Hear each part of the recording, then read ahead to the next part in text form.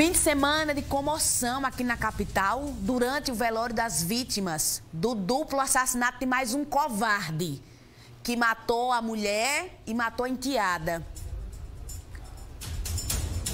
Depois de se matar, depois de matar a mulher e a enteada, ele tirou a própria vida. Daqui a pouco eu conto essa história porque eu vou chamar logo a matéria. No velório do empresário, a família e os amigos chocados com a morte trágica da família. A última homenagem a Mauri Barbosa de Souza, segundo a polícia responsável por matar a esposa e a enteada, foi mais silenciosa. Essa prima se disse chocada com a maneira como tudo aconteceu. Ainda não estou acreditando que ele passou para fazer isso e se matou, né? Eu, a família ainda não está acreditando. E o que eu quero dizer é que Jesus ele sabe de tudo, ele é o dono de tudo, ele está no comando de tudo e ele quem viu tudo, né? E só ele que pode julgar. Depois dos disparos contra Jussiara e Joana, esposa e enteada, o empresário foi encontrado morto em um motel. Áudios que teriam sido gravados por ele pouco antes da morte se espalharam pelas redes sociais. Uma mulher que é, me maltratava, me maltratou muito, porque, porque percebeu que eu gostava dela. Eu só quero dizer assim, me perdoe por tudo me perdoe. O velório de mãe e filha foi na igreja que as duas frequentavam, em Cruz das Armas. Por lá, muitas pessoas aguardavam os corpos desde cedo, no sábado. Quando a chegada aconteceu, comoção, desespero. Ainda que te servir.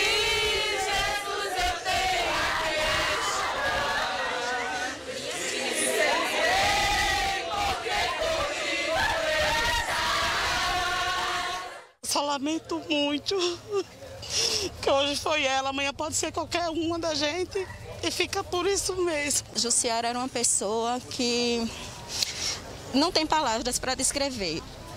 Jussiara é uma pessoa alegre, uma pessoa muito boa, muito boa, mulher de Deus, né? Uma mulher de Deus mesmo. Joana, filha dela, outra pessoa maravilhosa. Não tenho palavras para descrever as qualidades que Jussiara tem, tá entendendo? Que era Jussiara. Sobre esses áudios, eu quero comentar algo. Me perdoe a família do covarde que matou a mulher e a filha.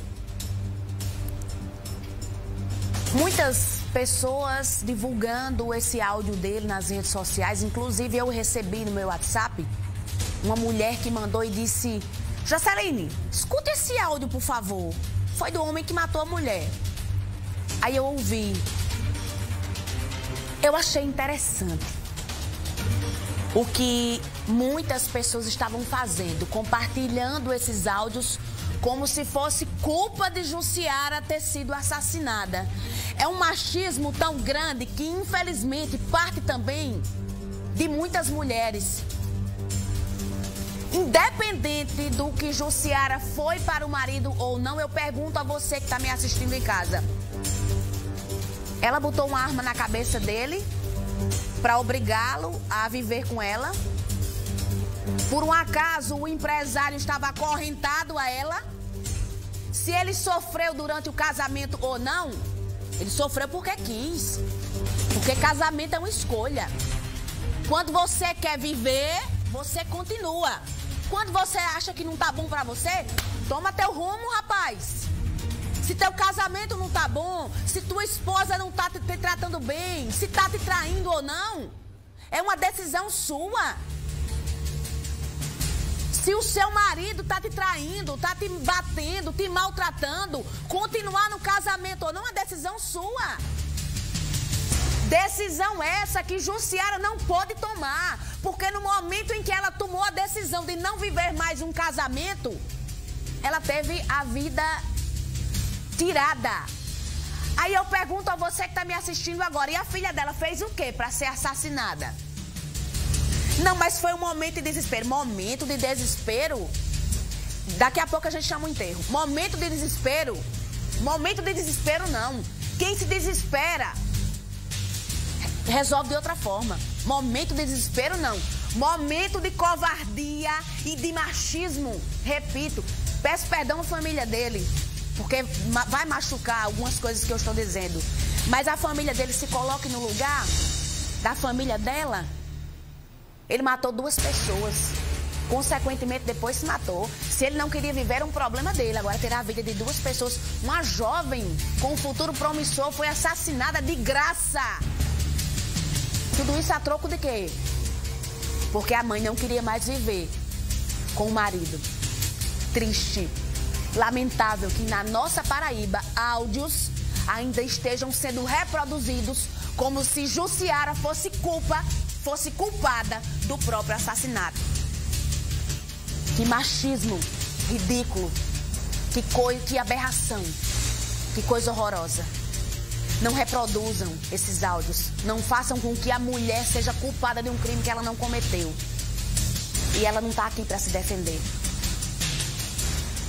Agora sim, vamos chamar o velório das duas, que infelizmente o enterro foram enterradas sob forte comoção. Os enterros de Jussiara de Lima dos Santos, de 38 anos, e da filha dela, Joana Eugênia de Lima Andrade, de 19 anos, foram marcados por comoção e amargura.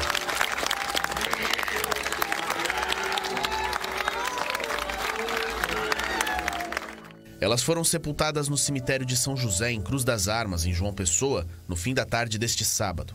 Uma multidão queria se despedir de Jussiara e Joana, mortas na última sexta-feira por Mauri Barbosa dos Santos em um crime marcado pelo ciúme. O pai de Jussiara lamentou as mortes da filha e da neta e desabafou sobre Mauri. Uma pessoa sem escrúpulo, porque quem chama uma pessoa dessa de, de, de cidadão, quem chama uma criatura dessa de, de morto de senhor, não, não conhece o monstro que existe por trás dele. Isso foi uma covardia imensa. Ele não pensa porque ele se suicidou. Isso, isso aí não, não justifica o que ele fez, entendeu? No enterro de Jussiara e Joana, lágrimas e tristeza. No de Mauri, silêncio. Ele foi sepultado também no sábado no cemitério Parque das Acácias, no bairro do José Américo, em João Pessoa. É, não vou julgar se ele era bom ou se era ruim também não. Ele foi covarde em matar a mulher, foi machista. Agora, se ele era um homem bom ou um homem ruim, eu não tô aqui para julgar ninguém. Nem vou julgar. Agora, olha aí, ó. A família da mulher. Olha o desespero de quem perdeu duas pessoas do mesmo dia, da mesma família. Uma jovem de 19 anos, que tinha também uma vida toda pela frente, que namorava, que tinha sonhos que estava cursando uma faculdade de gastronomia e teve o sonho interrompido por um homem que não queria ser deixado pela mãe dela.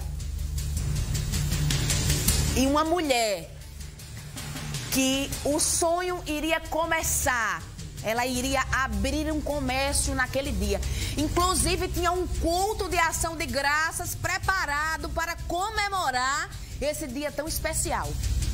Mas todos os sonhos foram destruídos por alguém que, infelizmente, não queria que a mulher chegasse a algum lugar. Essa é a realidade.